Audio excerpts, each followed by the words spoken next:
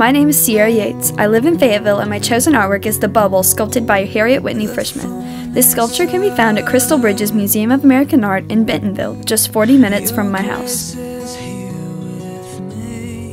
Harriet Whitney Frischmuth was born in Pennsylvania in 1880. When she was a teenager, her parents divorced and she moved to Europe with her mother and sisters. Frischmuth studied in Paris with Rodin and then studied in Berlin with Hugues This time in Europe led her to become a strong proponent of the Beaux Arts style and later led to her dislike of modern art. She came back to America to study in New York at the Art Student League of New York under Gutzon Borglum and Hermon Atkins MacNeil. She was an assistant to sculptor Karl Bitter while in New York and also enjoyed performing dissections at the College of Physicians and Surgeons. In 1910, she received her first commission for a sculpture. She started by modeling ashtrays, bookends, and small figures, but as her career grew, she became well known for her sculptures of females in bronze, especially dancers. Her smaller works often went on display for museums, while her larger works were mostly centerpieces for gardens. The Great Depression caused her to have to close her studio in New York in 1930 and return to her hometown.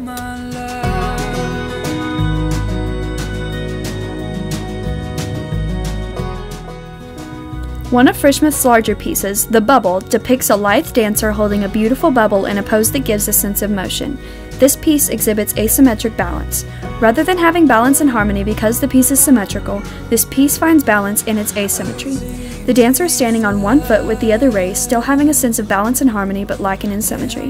The contour of the dancer's body is very naturalistic. It can easily be seen as a real woman. Her body shows the natural lines and curvature of a dancer's graceful body. The contrast between the light of the bubble and the dark bronze of the sculpture guide the eye upward and cause a sense of lift, as if the dancer could leap at any moment.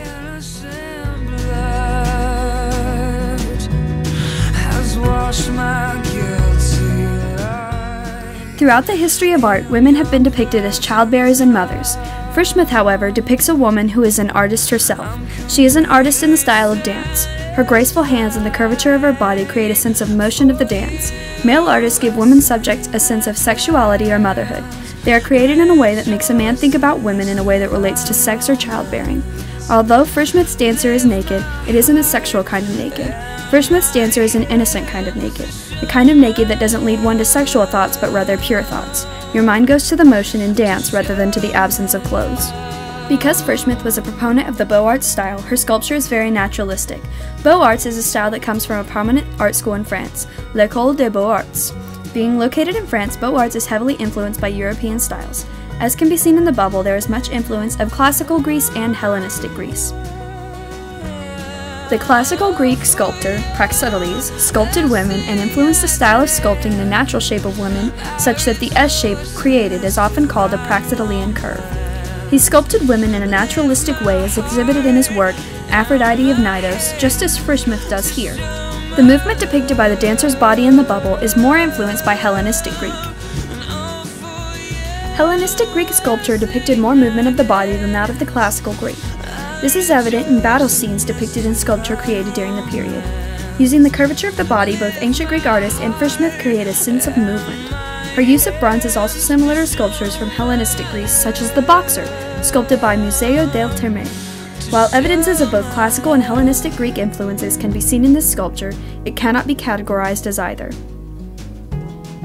During her time, most of the art world around her was entering into the style we know as modern art.